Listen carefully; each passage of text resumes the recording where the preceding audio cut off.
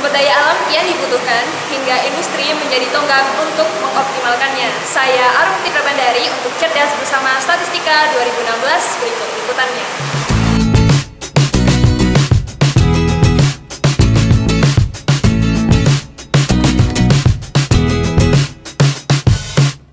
Perkembangan zaman semakin mempengaruhi siklus ekonomi dan industrialisasi, utamanya di negara Indonesia. Dalam cerita 2016, Bapak Krisnayana Yahya mengatakan bahwa revolusi industri 4.0 menjadi sorotan terkini. Transaksi besar yang dapat disetting sehingga persediaan minimum dan maksimum barang dapat diorder secara otomatis.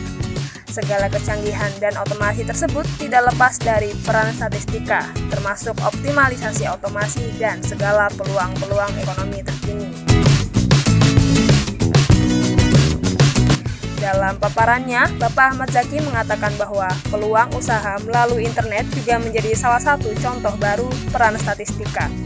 Lebih dikenal dengan peer-to-peer -peer ekonomi, pembeli dan penjual dapat bertransaksi secara langsung melalui alat transaksi menggunakan internet yang mereka miliki masing-masing.